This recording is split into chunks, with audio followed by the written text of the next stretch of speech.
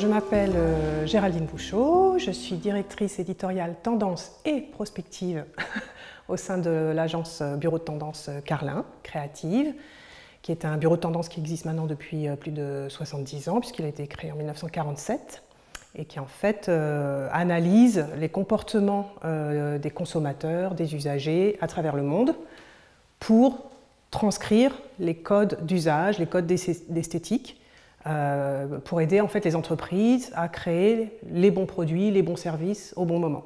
Donc l'idée c'est d'anticiper les transformations de société pour aider en fait toutes les entreprises qui doivent produire des objets, des produits, des services, enfin voilà, à être en phase avec les attentes du marché. On a tout à fait des méthodes euh, qu'on a mis en place euh, depuis longtemps, qu'on adapte aussi, puisque le monde change hein, depuis 70 ans. Euh, mais effectivement, on travaille beaucoup de manière collaborative avec nos clients, on fait pas mal d'ateliers workshops, mais pour nourrir ces ateliers et ces formes de design thinking, quelque part, nous, on a tout un travail amont de veille prospective toute l'année. sur tous les secteurs, donc que ce soit analyse des phénomènes évidemment géopolitiques, changement climatique, euh, mais aussi euh, tous les phénomènes euh, qui peuvent avoir lieu, les, nouvelles grandes architectures, l'urbanisme, voilà, tout, tout, ce qui peut se passer dans le monde, que l'on va croiser en fait avec tous les phénomènes culturels et créatifs. Donc on travaille en fait, on est un peu un cerveau bicéphale, où on va travailler entre l'équipe qui va, on va dire sociologique, marketing, qui décrypte un peu les phénomènes de société, et beaucoup de créatifs qui eux vont plutôt aller détecter tous les courants culturels, créatifs qui émergent. Donc euh, ils sont très cultivés.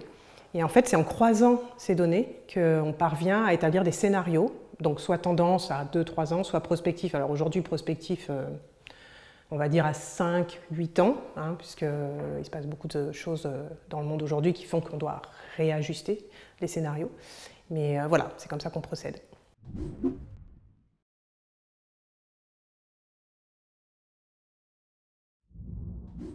Aujourd'hui, euh, c'est important d'être agile, plus que jamais, euh, puisque comme je le disais, on traverse beaucoup euh, de crises. Et aujourd'hui, effectivement, on doit accompagner les entreprises autrement, c'est-à-dire qu'on travaille énormément aujourd'hui sur les enjeux de, RSE avec les entreprises. Et en fait, maintenant, ce qui se développe, toutes les nouvelles tendances portent autour de tous ces enjeux. Donc on a su aussi nous nous adapter par rapport à nos prestations de conseil. On a une équipe intégrée, donc euh, euh, on est petit, hein, on est une petite PME, on est entre 10 et 12 au sein de l'agence euh, tout le temps. Et par contre, nous on fonctionne avec ce qu'on appelle un hub de prestataires, de créatifs et de partenaires en fait, hein, plus que de parce qu'ils travaillent avec nous depuis de nombreuses années, parce que c'est très important pour nous d'aller chercher les les compétences, euh, la culture euh, à l'extérieur. Donc on constitue toujours une équipe euh, fidèle maintenant, qui, voilà, parce qu'on sait qu'ils sont justement très curieux, ce qui est une qualité première, ils sont cultivés et ils aiment énormément échanger. Donc voilà, on travaille régulièrement avec ce panel qui est international. C'est des gens qui viennent de différents pays, qu'on rassemble en fait deux fois par an pour établir ces scénarios prospectifs. Euh, et, donc on a euh, voilà, deux fois par an, une semaine où on se retrouve tous à débattre et à trouver euh, ce qui fait consensus en termes de, de scénarios, tendances ou prospectifs. Voilà.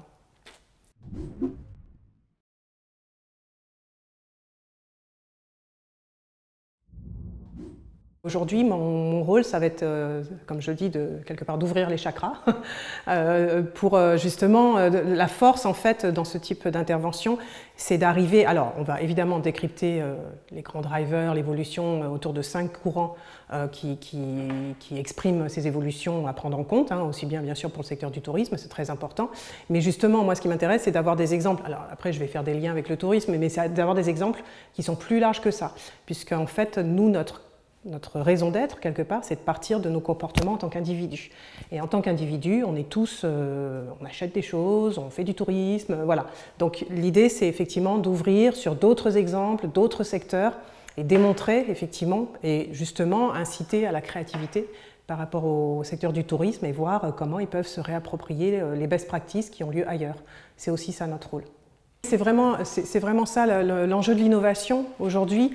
Euh, je, pense que justement pour être innovant, agile, euh, on est dans un monde de contraintes euh, qui sont énormes hein, sur toutes les entreprises, y compris le secteur du tourisme qui a été quand même sacrément chamboulé avec le Covid-19 et donc bon, bah, là ça repart, mais les gens ont changé de mentalité entre-temps, il y a de nouvelles attentes par rapport à tout ça. Donc c'est important effectivement de ne pas avoir toujours le nez dans le guidon, de regarder un peu ce qui se passe ailleurs, de s'inspirer sur d'autres secteurs, de trouver des solutions où a priori on se dit c'est pas pour nous et puis soudainement on se dit mais en fait je pourrais le transposer comme ça. Je pense que c'est essentiel aujourd'hui pour être innovant et agile parce qu'on euh, est tellement contraint euh, aujourd'hui par euh, bah, voilà l'inflation, la situation mondiale. Enfin bon, on peut vite se laisser enfermer. Et ces journées, en fait, qui sont quelque part comme des aérations, finalement, qui sortent de notre quotidien laborieux de travailleurs et de faire du chiffre et de trouver des clients, et voilà, c'est très très important de prendre un peu de la hauteur et puis effectivement de, voilà, de, s'ouvrir, de regarder, parce que ça peut nous faire gagner beaucoup de temps, en fait, après, dans notre réflexion stratégique pour euh, développer euh, des nouveaux services, des nouvelles offres. Euh, voilà, ouais, c'est essentiel.